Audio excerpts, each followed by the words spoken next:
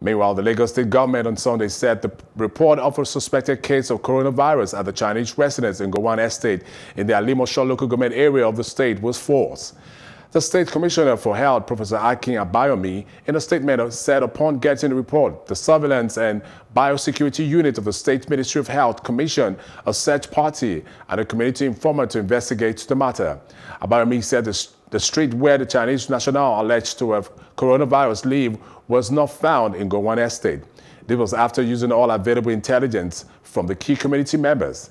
The commission said the investigation will be completed upon which he will make a briefing, adding that the ministry has already uh, increased surveillance on hotels and other resource centers in Lagos.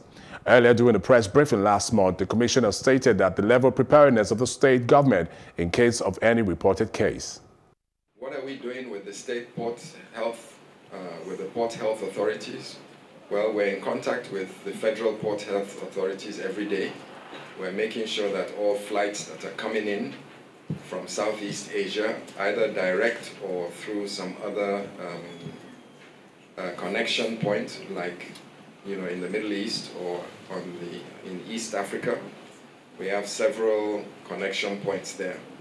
But we're just trying to make sure that all flights that are coming in from that axis, coming from Asia and Southeast Asia, we are particularly uh, uh, astute to uh, the passengers that are coming off the flights. And we cannot really, you know, um, uh, isolate one ethnic group from another and pay undue attention. We just need to screw in everybody that is coming in on those kinds of flights because this virus, it does not know ethnicity. It, it just is all about contact.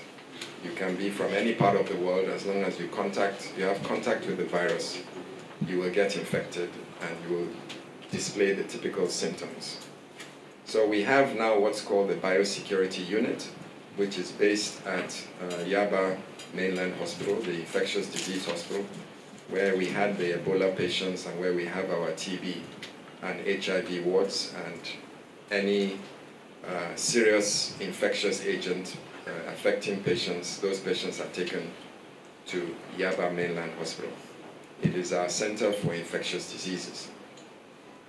So if we have Lassa fever, if we have monkeypox, if we have Ebola, if we have coronavirus, if we have yellow fever, that's where they go.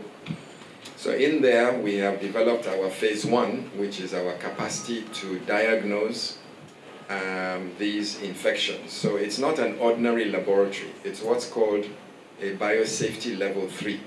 It is the highest level of biosafety that you can have.